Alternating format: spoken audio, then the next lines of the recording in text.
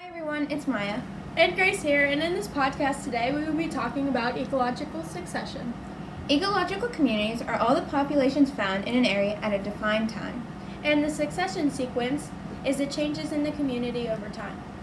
Ecological succession can be a good thing sometimes, Or sometimes it can be a bad thing, but most of the time it's a really great for the environment. ecological succession can happen fast as in a few days or it can happen over a few years. Really, it depends on the environment you're in and the situation you are dealing with. Natural replacement will occur in a community until a stable stage is re- reached. This can be primary or secondary succession. These changes may occur for reasons such as new resources, disturbances, and biological changes in the environment. A small example of this would be your garden. It begins with only a patch of grass and, and some seeds, and in a few weeks, flowers and plants begin to grow. This happens on a much bigger scale as well. A bigger or longer span would be like seasons changing in a park. You start with the trees in the summer, which are full of leaves, flowers, and everything. Then, over a span of a few months, the trees begin to change color and their leaves begin to fall off. These flowers will also start to disappear, and this will be the start of the change. And on the other hand, a large scale ecological succession is when environment begins to grow from the ground up. This happens with either primary or secondary succession. Shall we begin with secondary succession? We shall. In the first picture, at year one, you can see that the forest is completely healthy and full. This means the forest has tons of resources, tons of animals. However, somewhere deep in the forest, the forest is not very healthy. It needs to be replaced, and somehow. So, after years and years of growing in the forest, it eventually builds up a lot more brush, grass, and trees, which are now dead and unneeded in the forest environment, which provide very good fuel for forest fires to thrive.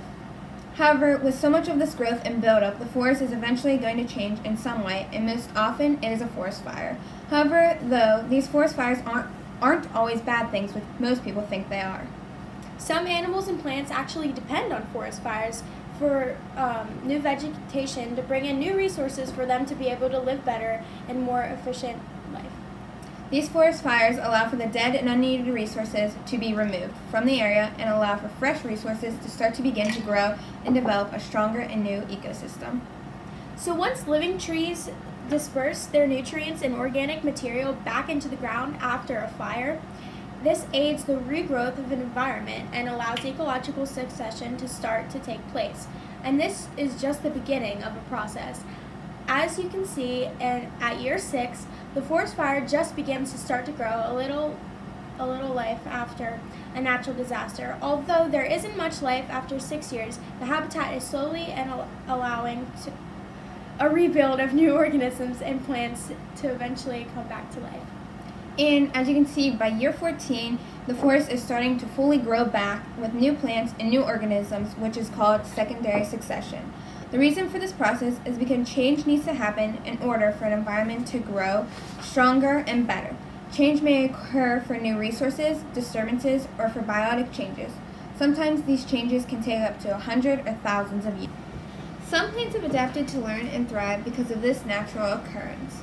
Plants have a distinct disadvantage compared to animals in the fact that they can't run, hide, creep, crawl on a fire's path, but they have adapted to survive and even depend on regular fire. Pines are a spectacular example. They have thick cones with serotinous on them. This gluey substance melts after fire occurs, then allows the seed inside the cone to come out and be able to grow in the newly richened soil.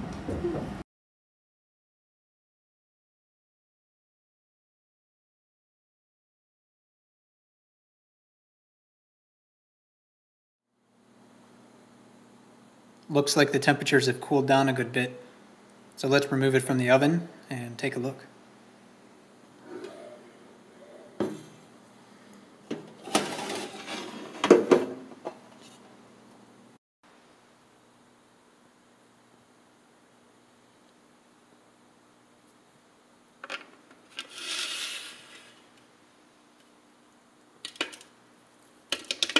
Years. Now, fires aren't the only natural disasters that can destroy a habitat.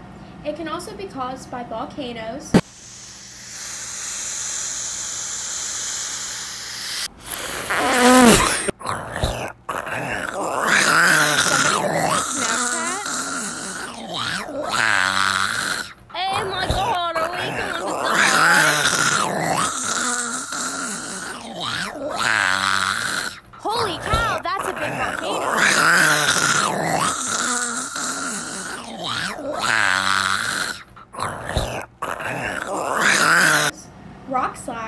Glaciers, and more. These are natural disasters that allow for the redevelopment of an ecosystem that is needed to go through to change and grow stronger. An example of ecological succession would be like the situation that happened in Iceland with the volcano explosion. In 1963, a ship saw smoke across the island and thought a ship was actually sinking. However, a natural disaster was just occurring. As the guys went over to check out what was going on, they realized that a volcano had been building up for years and was actually just erupting and forming a new land formation, which would lead to our next topic. You guessed it, primary succession. This new land formation was actually called Surtsey. When the volcano exploded, lava raised up from the ocean's surface and became and started to form new layers. The lava flows became prominent, forming hard caps of solid rock over the lower slopes of the new island. This prevented the waves from washing away the island. So, being that there was no life, this actually introduces us to our next topic, like Grace said, primary succession. Primary succession. In primary succession, the area that this is happening to is brand new. At least in the sense that you're usually talking about an area that it doesn't have any soil. So, this usually has to be a special circumstance. An example could be a volcano lava flow that now has left this new area with no soil present. And usually you have Primary succession is the development of a new ecosystem an area in an area where there has not been an ecosystem before. For example, lava from the volcano turns into rock and creates a new island. When that island starts developing, organisms like lichen and other pioneer plants grow. It attracts organisms. More and more plants grow, and organisms can be supported. Then, by then, a new habitat is formed, and this is what we call primary succession. So, primary succession is actually a little different than secondary succession. Instead of the regrowth of an environment after a natural disaster is called, has occurred, primary succession actually forms an environment where there was actually no ecosystem before. The communities forming in an originally lifeless habitat normally have no soil and the process is very slow and nothing being developed at the moment, but after years and years and years, an environment starts to grow. This also occurs where there was no previous community, such as bare rock or sand. However, this land won't stay like this forever. It actually starts to develop what we call pioneer species. So, with Surtsey, the new land had no life before, but with primary succession, it allowed for a very slow process to occur, which small plants started to slowly develop and allow for tiny organisms to start to populate the area. As soon as those small organisms began to populate the land, they allowed for plants and the environment to grow larger and allow for more and new species to develop and help form the ecosystem. Species that are the first ones to arrive on the land are actually called the pioneer species. Pioneer species are hardy species which are the first ones to colonize previous biodiverse, steady state ecosystems. The pioneer species is an organism that can tolerate extreme conditions such as hot, dry, cold, or wet. These species are the first to create life in a lifeless area. They also help to produce soil over hundreds of years and break apart the rocks. As well, these species hold water which allow for other organisms to grow in an environment that is allowed to flourish. Because pioneer species have to be able to survive in an ecosystem where there was nothing before or is very little now, they have a couple of following characteristics to help them out. They have um, to live in very poor quality soil. So they have long roots that get down deep into the soil where the nutrients are or were. Also, pioneer species have to be wind pollinated because insects are unlikely to be present in a barren area and environment. Um, they also reproduce asexually altogether as an extreme barren conditions present more favorable to reproduce asexually rather than sexually. We can note that pioneer species have to be photosynthetic because there is no other source of energy such as other organisms that would be able to provide energy for them to reproduce. Lichens grow on rocks, so they're one of the first life forms that have been able to break down rock into nutrient-rich soil.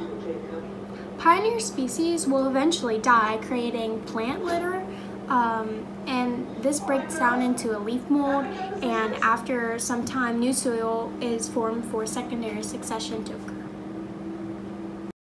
A pioneer species, which that's the name for species that will colonize the area first. It sounds kind of exciting. Pioneer species and primary succession. Well, they can be organisms like lichen. if you're unsure about what lichen is, you need to Google it. It's likely you've seen lichen before. Moss is another potential pioneer.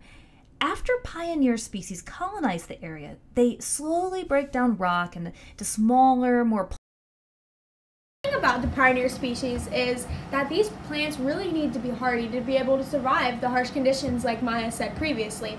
And um, they have to be able to repopulate easily because a big producer population allows for a larger consumer population. Another thing about these plants is they have to have long roots which are able to hold nitrogen fixing bacteria which allow for an easier time for these plants to grow and repopulate the area as well. These pioneer species are very crucial to the development of an ecosystem, and without them, primary succession actually would never occur. They produce soil over hundreds of years and break apart the rock and add humus as they die and decompose. Without them, no life would start on the area where there was not. A great example of a pioneer species is, as men- mentioned previously, lichen. Lichen. A simple, slow-growing plant that typically forms a low, crusty leaf-like or branching growth on rocks, walls, and trees. They can some come in various and bizarre shapes and sizes. No two are the same, just like snowflakes. Lichen. Complex organisms, and though you might think they are plants, actually there are two separate there is two separate parts. They are part fungus and part algae. The dominant part is the fungus, which gives the lichen lichen of its characteristics. They're, these are very important to the primary succession um, sequence and the formation of a new ecosystem. Like Grace said, algae and fungi are actually growing together in a mutualistic relationship. The algae make its own food and provide for the fungi, while the fungi break down the organisms and organisms and break down material that makes soil for the new land and area. Normally, these are the first two organisms to appear on land because they work together in a mutualistic way and can help depend on each other, forming a new ecosystem. The reason lich lichen is easy to grow on new areas is because they do not need other life or do not need soil to grow. As well as algae, they photosynthesize and the fungi absorb nutrients from rocks and holds water which then break down the rock. When this does happen, there are ways that the lichen does spread naturally, like when rocks break apart. The lichen, like when rocks break apart. And then a glacier, when the lichen dies, they accumulate in those cracks. And then as the water starts to thaw, the lichen grows again and spreads everywhere. As you can see in the picture to the side, pioneer species aren't the only things that actually go into the formation of a new land or ecosystem. There's actually a lot more that go into it. As you can see, it starts with pioneer species, but then it moves to intermediate species. Not only do the lichen help nourish and populate the land, mosses and ferns begin to grow and die as well, and uh, they lead to the creation of nutrient-rich soil. This soil provides for a great ecosystem and environment that will allow for tons of plants to grow. As well with that, the plants will die and add organic matter and help form a soil layer that thickens and grows thicker and thicker as the time goes on. This leads to the development of new growth and weeds and wildflowers will also begin to grow. And the next species after pioneer species would be the intermediate species. The intermediate species is similar to shrubs and small trees that start to form after lichens, lichens. This allows for smaller animal life to start to find homes and more of an environment to develop. After this intermediate species starts to form, a plant mat will form which is composed of more adult plants like shrubs, flowers, and the start of larger trees. Soon, about, after about two years, these larger trees will start to form into a stronger ecosystem and allow for stronger species to start to form a home. However, plants aren't the only thing that help repopulate an ecosystem. Animals are an essential part of to forming a new ecosystem. Once animals start to move into these new areas, they begin to eat plants, spread seeds in other areas, and when they die, they decompose and their nutrients go into the soil, which help make more plants. Once animals and other organisms begin to live and reproduce in that new habitat, it soon becomes stable. After succession occurs and the environment is fully grown and then reaches a climax community. Now, a climax community is when an environment stabilizes and an order set. It will still continue to change, but only in small ways. Of course, this is the final stage in ecological succession. That is until after a long time, then another forest fire happens and primary or second Secondary. secondary succession starts to grow again. See, very confusing, but Mhm. that's Yeah. life. Another part to this climax community, though, also involves something called the surreal community, which is actually an intermediate stage found in ecological succession in a community advancing towards its climax community. In many cases, more than one surreal stage actually evolves until climax conditions are attained or reached, or where the clim- or where the community is actually happy. The surreal community is the name given to each group of plants within that succession. In many situations, more than one surreal stage actually evolves until the climax communities are reached or at its full stage of potential growth. For example, like the lithosphere dealing with the community of rocks or hydrosphere dealing with water. Like in secondary succession, it can be seen in coniferous forest. During the first two years, the grasses, heaths, and other plants such as firewoods will be fully healthy and ready to blossom and bloom. Then, after a few more years, shrubs will actually start to appear, and after about eight or nine years, this area is likely to be crowded with young trees and young plants ready for full growth and to develop the new environment that is ready to be attained. These stages are referred to as the surreal community are just what start to grow after the pioneer species. These species will often grow and die and more often than not occur in more than one stages, like I said, unlike other things like forest fires and the other succession. And don't forget about the small things that also help the community, like surreal community, which was mentioned previously. It's a term used for plants that help to repopulate a community after a pioneer species has occurred. And like said in the beginning, pioneer species is the first species to occur on land. The surreal community just helps to repopulate and replenish the pioneer species. Also, don't forget about the edge effect, which are changes in a population or community structures that occur right at the boundary of two or more habitats. Lastly and finally, there are actually two more successions called autogenic succession and allogenic succe- succession. Autogenic occurs as a result of biotic factors. The growth of organic matter, such as dead plants or decaying animals, cause for changes to occur in a community.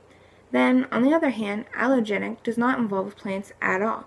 These are actually the changes that we mentioned in the beginning that we as humans cannot change, like volcanoes, flooding, or floodings, or glaciers.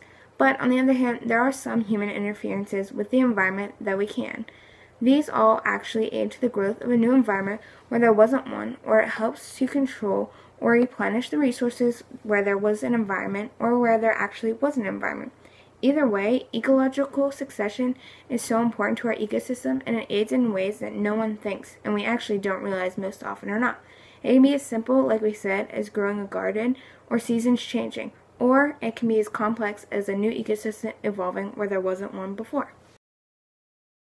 I think for now our time has run up and we've given us all our knowledge that we have known on ecological succession. We hope that you've learned that ecological su- succession comes in two ways primary and secondary succession.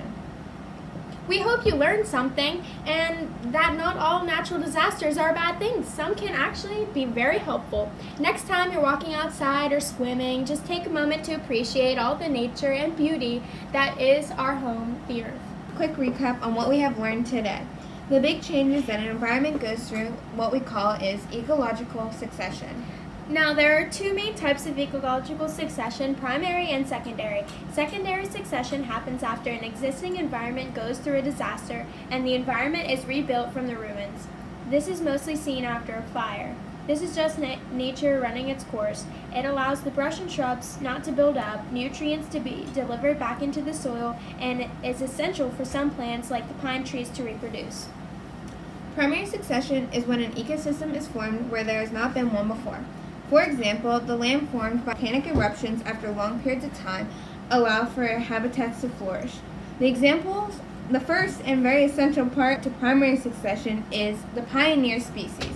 Lichens are perfect examples, and once they grow, they begin to attract organisms and intermediate species begin to grow.